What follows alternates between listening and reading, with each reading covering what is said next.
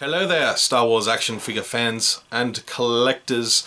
Welcome back to another Black Series action figure review. Uh, last one for now, Han Solo number 5 from Return of the Jedi in his uh, Endor trench coat, sort of camouflage look. This is one I've been really looking forward to. Got a pretty...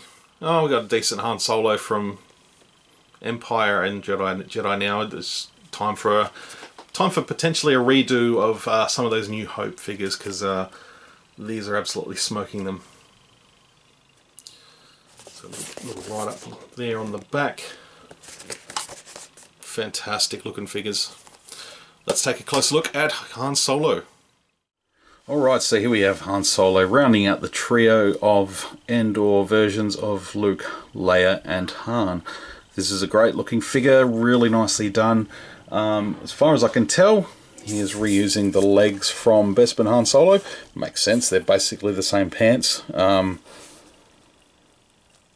for the rest, I think it's mostly mostly new. Maybe the underneath might be a little, might be the same here. Um, I'd have to actually compare it side by side. I think the Bespin one's a little different, so this could be all new. Uh, so with the vest, hopefully this means a new New Hope Han Solo comes along. Uh, new arms, so it does have the pinless, pinless arms underneath.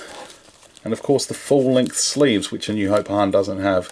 So unfortunately we can't really do that simple simple swap around and have a New Hope Han Solo, but uh, the head sculpt on this is pretty fantastic.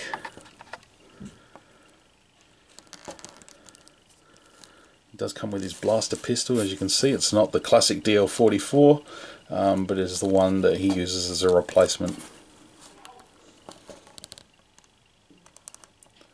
Just focuses, there we go. Really good. Really nice likeness of Harrison Ford there. Um, but yeah, the trench coat really does just set this figure off. They've done a, a fantastic job. Just the cut, the feel, um, where it's stitched, the way it sits around the figure. It's not always easy for them to, um, the way that fits around the figure's neck, but it actually sits really well.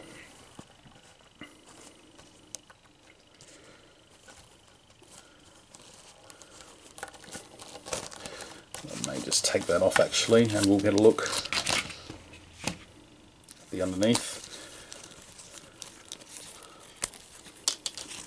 I'll leave that arm on just for the moment. So yeah, this looks like a new vest to me. There we go.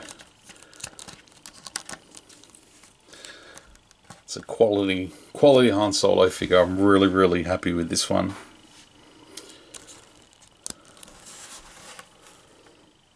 Really cool addition to the line well done on this one too Hasbro fantastic one thing I did notice um, which is just a paint error um, that the black boots are shiny and then the shoes are unpainted. They're just the same mold as the plastic. So that's a little disappointing but it's not a big deal. Um, for the most part the trench coat will sort of dangle around the front of those boots anyway so you won't even tell.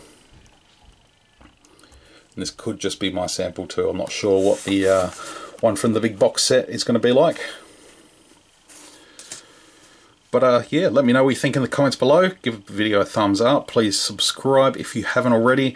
And join me on the next video. So until then, may the force be with you. Always. We're a little rushed, so if you'll just get on board, we'll get out of here.